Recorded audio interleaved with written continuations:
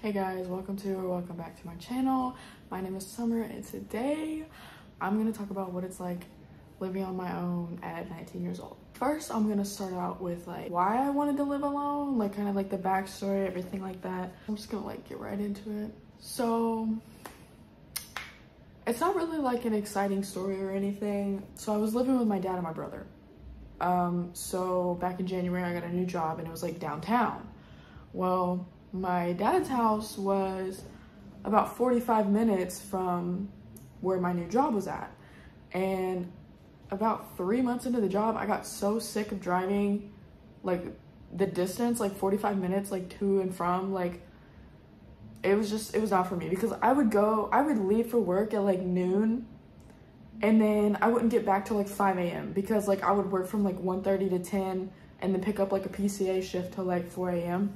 So like I was not like I wasn't getting home at like a great hour and then I'd have to go and like redo that whole thing like it just it was not I didn't like it. And plus gas was rising and I don't know I just there was like a lot of other things like me and my ex had broken up in like December and like the my whole like room and just the house in general just really reminded me of him and it was like affecting me mentally like I didn't even want to like be there like I would do everything in my power to not stay home. Like I would always be out doing something anyways if I wasn't at work. And like I would pick up as many shifts at work as I could because like it just reminded me of him. Like I couldn't even I couldn't even stay there anymore. Like there was no like family problems. There was no family issues. Like nothing really like exciting went down. Like I don't know. I definitely was not expecting to move out.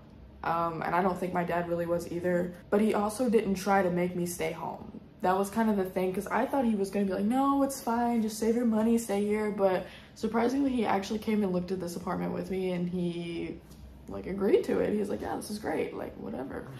So i was actually kind of surprised but yeah like nothing really exciting went down like there was no like arguing like we didn't have a falling out like my dad's literally my best friend i still talk to him every single day like nothing really went down. But anyways this was the second apartment i had even looked at. I literally moving out was like a last minute decision really. I wasn't even looking at apartments for like a week before i was like let me just move out. Like i did not look very long but i had very i wouldn't say strict rules on the apartment that i wanted but i knew that i wanted an apartment that water and electric was included. So some of my coworkers they all live on like off-campus housing and so i was like you know what maybe that's not too bad because all of their stuff is included. Most of the places have pools, and if your specific apartment doesn't have a pool, then usually the other apartments will let you come and use theirs. And like, it's just, it's like nice. Like, they're all kind of like affiliated with one another, you know? So I had went and looked at one other apartment, which was not affiliated with the school I'm gonna go to. And the price was just way too high and I knew that I really didn't want a roommate. Like I just, I don't want to come home, like dread coming home, you know, like I want this to be like my safe place. Like I want it to look how I want it to look and like stuff like that. So didn't really want to have a roommate. So I had went to look at this other apartment and I knew I was gonna have to have a roommate to afford it and plus water and electric was not included.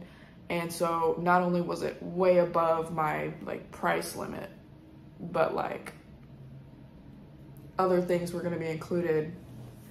So I came and looked at the one that I live in now and I absolutely fell in love with it. Like I literally loved everything about it. And so I moved in.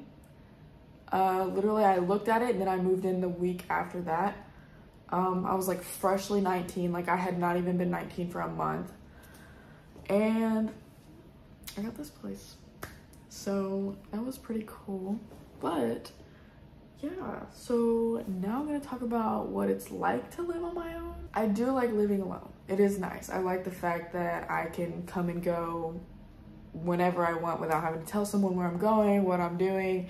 Even though my dad wasn't really like that but it's just like i felt like it was more like respectful because i was living in his house and i felt bad coming home late as hell every night after work and like possibly waking him up. So i was just it's nice to be like, oh, I'm not gonna like wake anybody up when I come in or like something like that. It's just nice.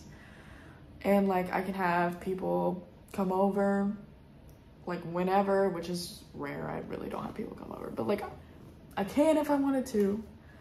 Um, I can have people come over like whenever. I don't have to ask anybody. They just come over whenever. I like the fact that I can buy my own groceries. I do not actually grocery shop. I don't go into stores and stuff. Like I just, that's not for me. I used to absolutely love it, but now I'm like, people are watching me. People are like judging what's in my cart. So I like, I don't do that anymore, which is so ridiculous because I mean, I don't look at what people buy. Like, I don't care. Like, unless it's like posted on YouTube, I'll watch it. But like, in real life, like I don't care what people's what's in people's carts. I don't look. So it's kind of it's a ridiculous like anxiety, I guess, but like it's there. So I just order my groceries online and I go pick them up.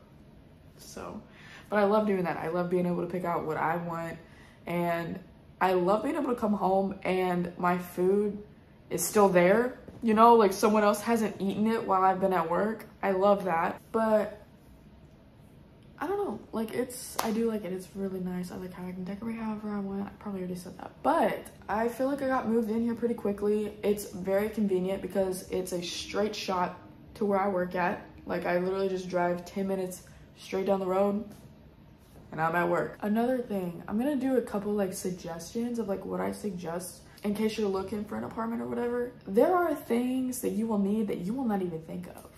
Like my first night here, it was like 2, 3 a.m. and I was like, let me go take a shower. I go in there and I'm like, where is the shower curtain? I couldn't take a shower. I had to get up butt crack of dawn the next day, get a shower curtain, come back here and take a shower. I did not have a shower. Like, I, for some reason, that didn't even click in my head. I was like, oh, they just come with shower curtains. No, they didn't. Like my apartment was fully furnished when I moved in, which was convenient, but also I hate this furniture, but it was convenient. Um, it was like fully furnished, so i'm like I was like, well, what's not gonna be there? So like I had to call the front desk a couple times and be like, hey, like what is in here? Like what do I need? Cause like I was like, do they have trash cans? Like I don't know. Like maybe that was like a dumb question, but I had to ask just to make sure, you know, like yeah. So that. Uh, definitely make sure you have a shower curtain because like who thinks of that stuff? I had to look up several times like things you need for your first apartment. Like I like I because I had no idea. Like not like I only have like a couple of friends that have like moved out on their own and like there wasn't really many people that I could ask but yeah so definitely shower curtains um like I said it was like a last minute thing like me moving in here so like I did not have like any money saved up like, I'm gonna tell you, I pay over a thousand dollars a month for rent. I didn't even have 3000 saved up and I had to pay my first month's rent like ahead of time. So not only did I have to buy like extra stuff for my apartment, like dishes, trash cans, trash bags, all like every like everything you really need. Not only did I have to buy all that, I also had to pay my first month's rent. Um, I did not have to pay a deposit. They had waived all those fees. They they waived the uh, application fee. They waived all of that. So I didn't have to pay any of that. But um, like rent, everything I would need in this apartment, whole new stock of groceries. Like I wasn't like broke by the time I was done because I was really trying to budget, really trying to pick out, okay, do I really need this? Like I was really trying to do all that. But also, um, one thing that I definitely did not need, but I absolutely love is this lamp. Um, I absolutely love that lamp. That was like the one thing where I was like, okay, I'm gonna get it. Because like I had seen it on TikTok and then um, I looked it up on Amazon and it was like a lot cheaper than like the website. If anybody wants the link, then just like comment and I'll put the link down below. But I highly doubt anyone's gonna want it, so I'm not even gonna link it in the description. I'm not even gonna go looking for it until someone asks for it. But absolutely love that lamp. Um, if you take them off, they just. I seen it on TikTok and I was like, I had to have it. So I got the lamp. Was not in the budget, but I was like, I have to have it. So I got it. I think that's pretty much it for this video. If I think of anything else, then I'll probably make a part two, but thank you so much for watching. I will see y'all in a couple days.